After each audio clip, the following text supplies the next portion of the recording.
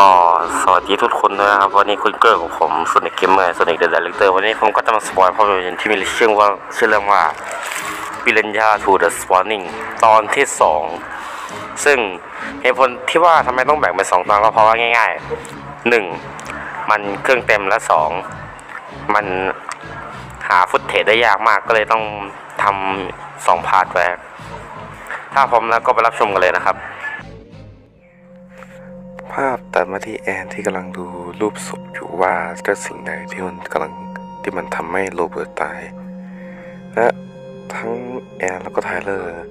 ได้วิเคราะห์กันมาเรื่อยๆจู่ๆทั้งคู่ก็เกิดทวงกลุ่มรักกันแล้วทั้งคู่ก็มีอะไรกันในคืนนั้น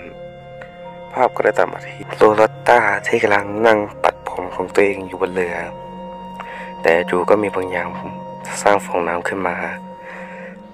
แต่โรลัตตาก็ อก็ไม่ได้สนใจอะไร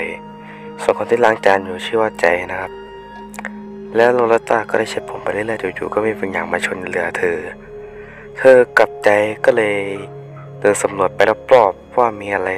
ชนเรือเธอหรือเปล่า แต่ก็ไม่มีพอโรลต้าได้กลับมาเช็ดผมอีกครั้ง เธอก็ได้ยินเสียงบางอย่างแล้วเจ้าสิ่งที่ว่านั่น มันก็ได้บินมาขย้ำคอเธอ ใจพยายามช่วยแต่ก็ไม่เป็นผล ใจก็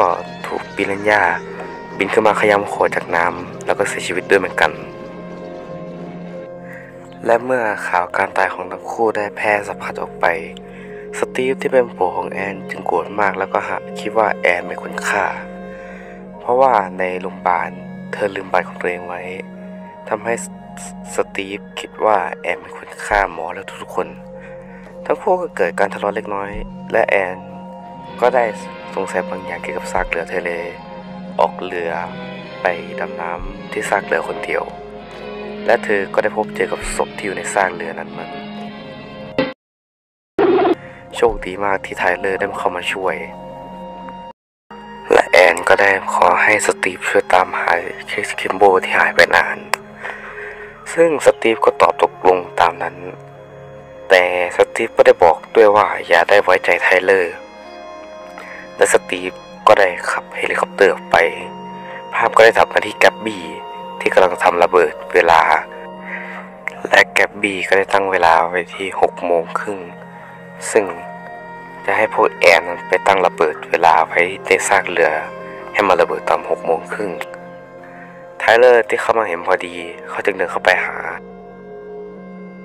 ภาพก็ได้ตัดมาที่เพื่อนร่วมงานของสตีฟ ที่ดันไปเห็นชายหาดว่ามีฟองประหลาดเกิดขึ้น เขาจึงเขาจึงเดินลงไปดูโดยที่ไม่รู้ว่าในนั้นมีปิรันยา ภาพก็ได้ตัดมาที่เจ้าของโรงแรมที่ชื่อว่าราอูลกำลังจัดงานให้ทุกคนลงไปจับปลาทูวันนี้สคริปต์มันบอกเป็นให้ลงไปจับปลาทูกันจริงๆนะครับ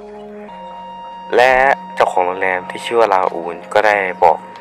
ให้ทุกคนทราบถึงกติกา แต่จู่ๆสตีฟก็ได้ทักเข้ามาหาแอน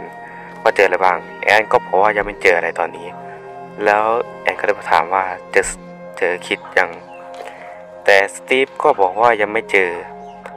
และภาพก็ได้ตัดมาที่เพื่อนร่วมงานของสตีฟแต่ตอนนี้แทบจะกลายเป็นศพไป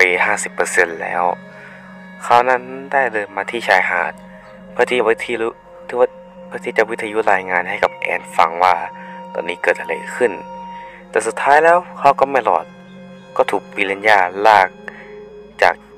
ลากตัวของเขาจากชายหาดออกสู่ทะเล แล้วก็ถูกขย้ำกิน ซึ่งก็ไม่รู้ว่ามันลากไปได้ยังไงนะครับ และเจ้าของโรงแรมก็ได้สั่งเปิดกันทันที ทุกคนได้พูดคำว่า we want fish กันบนชายหาด แต่ก็ไม่มีใครรู้เลยว่าแพอันตรายนั้นกำลังคืบคลานเข้ามาหาพวกเขาโดยที่ไม่รู้ตัว และเหตุการณ์ไม่คาดฝันก็ได้เกิดขึ้นปีเรนยานับร้อยได้บินขึ้นมาจาก น้ำแล้วก็ได้ไปขย้ำคนบนหาดจนตายเฮียน ซึ่งผู้คนก็ได้หนีตายกันโดนละหมาดแล้วก็มีบางคนที่พลาดท่าถูกมันขย้ำบางคนเข้าไปหลบในโต๊ะ บางคนก็ดูดน้ำหนีมัน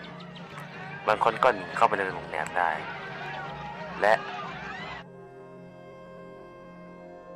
และแกบีก็ได้ออกมาจากที่ซ่อนแล้วก็ทำการถือพบเพลิงแล้วก็ออกมาไล่ปิรันยา เขานั้นไล่ไปเรื่อยๆจนปีเรนยามันได้ยกแห่กันมาเป็นฝูง สุดท้ายแล้วเขาก็ถูกมันบินมาขย้ำคอจนเสียชีวิตไปด้วยอีกหลายแอนที่ยืนดู เธอก็ไม่สามารถทำอะไรได้ เธอนั้นเส้นหวังเป็นอย่างมากที่ไม่สามารถช่วยแกบบี้ได้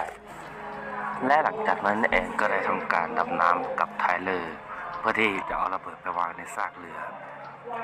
และทั้งคู่ก็ได้วางระเบิดภายในซากเรือไว้เป็นที่เรียบร้อยแล้ว แต่ในขณะที่ทั้งคู่กำลังจะออกมาฝูงปิรันยาได้มาดักทั้งคู่ไว้ทำให้ทั้งคู่ต้องได้หนีเข้าไปซากเรืออีกครั้ง และเมื่อทั้งคู่หนีเข้าไปในห้องห้องหนึ่ง ทั้งคู่ก็ได้โชคดี เจอกับท่อแอท่อหนึ่งที่มีทางออกอยู่ แต่เมื่อทั้งคู่เข้าไปฝูงปิรันยาก็ได้มาดักตรงทางทางซึ่งทำให้ทั้งคู่ต้องได้ต้องหนีไปเรื่อยๆ ฝูงปิรันยาก็ได้ขย้ำตะแกรงท่อแอร์ไปเรื่อยๆ และภาพก็ตัดมาที่สตีฟ ที่ได้เจอลูกชายของเขาแล้วที่ได้ไปอยู่กับสาวที่อื่น สตีฟได้โดดลงมาจากเฮลิคอปเตอร์เฮลิเฮลิคอปเตอร์เสียหลักพุ่งชนลงน้ำจนระเบิด และสตีฟก็ได้ทำการบังคับเรือของแอนให้ไปรับลูก ภาพก็ได้ตัดมาที่แอนที่ได้ดูเวลาตอนนี้เวลา6โมง26นาทีฟูปิลินยาก็ยังคงไล่ตามอย่างไม่หยุดเมื่อได้เข้ามาแล้ว แอนจึงพังทำการพังตะแกรงท่อแอร์ที่ขวางหน้าเธอไว้ และตอนนี้เวลาก็ 6โมง26 นาทีที่ 27 สตีฟก็ได้ทำการขับเรือมารับลูกทั้งสองคนขึ้นเรือ และคริสก็ได้ถามว่าแม่อยู่ไหนแต่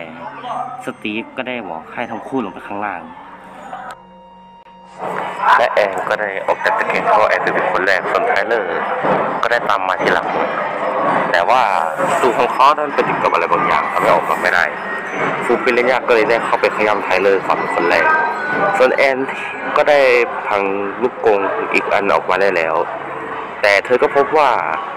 เรือของเธอนั้นกำลังขับหนีออกไป แต่เธอก็ได้เหลือบไปเห็นสมอเรือที่ทิ้งไว้อยู่ เธอจึงคว้ามันไว้แล้วก็ถูกลากไปพร้อมเรือเมื่อเวลาหกโมงครึ่งได้มาถึงเรือก็ได้ระเบิดแอนได้โผล่พ้นขึ้นมาจากน้ำและเธอก็ได้วาดไปที่เรือของเธอแล้วก็ได้ขึ้นเรือไปช่างเป็นฉากที่น่าบีบคั้นหัวใจอยู่ไม่น้อย